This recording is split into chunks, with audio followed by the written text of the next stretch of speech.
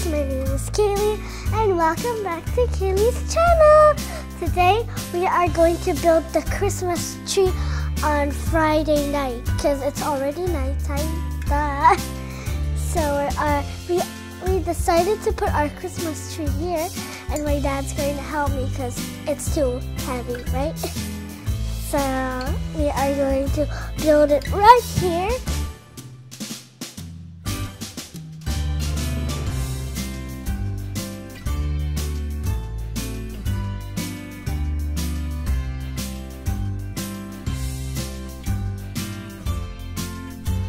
Hey, Where's Kaeley?